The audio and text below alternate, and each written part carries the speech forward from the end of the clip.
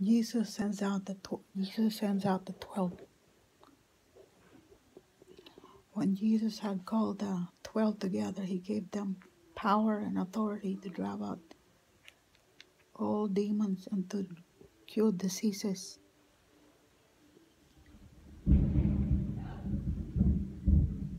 And to cure diseases, and he sent them to out to pro- proclaim the kingdom of God and to heal the, the sick.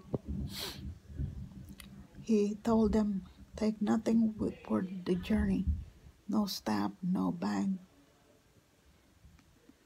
no bread, no money, no extra shirt. Whatever house you enter, say there until at least to leave the town. If uh, whatever house you enter, stay there until you leave the town.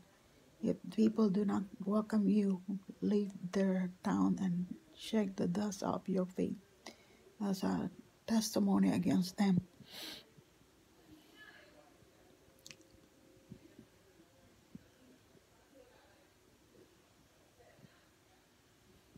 So they so they set out and went from village to village proclaiming the good news and healing people everywhere.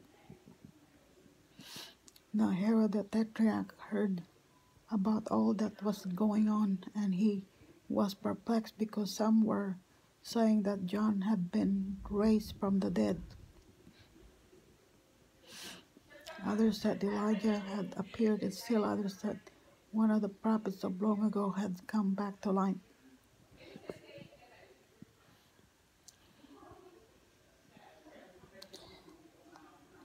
But Herod said, I beheaded John. Who then is this I hear such things about? And he tried to see him. We talk about Jesus.